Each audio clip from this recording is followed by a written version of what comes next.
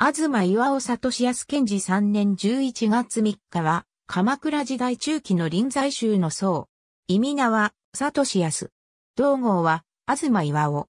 死号は、広四角前氏。播磨国の出身。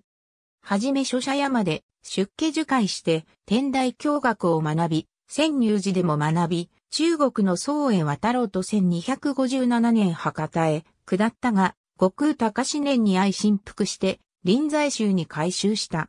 悟空に従って鎌倉に下り、寿福寺に参禅した。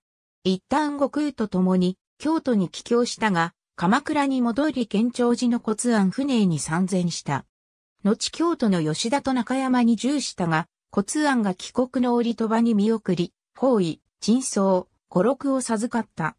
正五院出自の静心により1268年、京都一条今出川に聖殿寺を開き、現行に際しては、祈祷を行っている。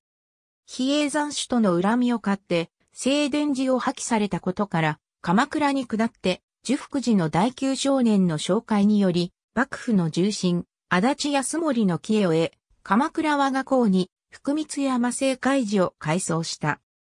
骨案船江禅寺、東岩尾里康禅寺法医遠征禅寺、在安遠遊禅寺無和大手の平鎮禅寺南寺、船川方禅寺基地州川小禅寺像春禅圧、禅寺月草教主禅師現行襲来の頃に、広四角禅師が読んだ和歌は、1940年に、学家出身の大野忠友によって、国風歌舞の手法で曲と振りをつけられ悠久の舞となった。当初は男舞だったが1964年に女舞に改作された。歌詞は S、近代に作られた神楽三章。ありがとうございます。